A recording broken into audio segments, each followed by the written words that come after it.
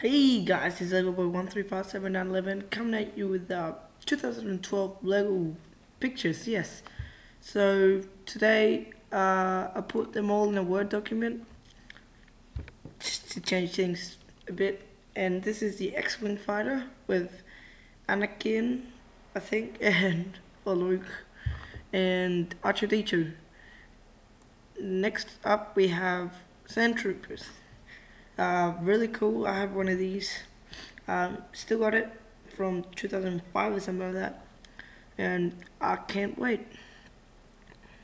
Next up, we got the two battle packs, the uh, Clone Wars, which you can see. And on the left, we have the Endor, I think, battle pack. Yep.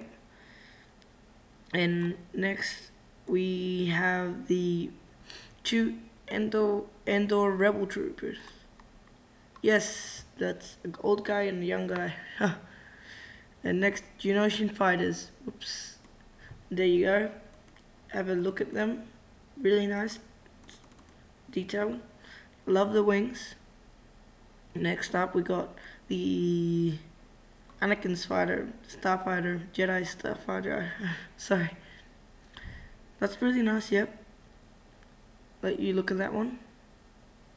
And next, this is the Battle Generation, I think. This is not Commander Gree, by the way.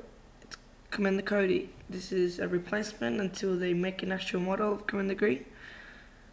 They get too excited there. this is a set, I don't know, looks like an escape pod here at the back with the Sand Troopers I showed you before. 3CPO and R2-D2. This is an ARC Trooper and ARF Trooper. They're both going to be remodeled. Hopefully. Be really cool if they make the ARC Trooper better. Sand Troopers. Same ones at the first picture, I think. First. That Commander Cody is there, but it's actually Commander Gree. And Sophie. We've seen her before. I have her. Okay.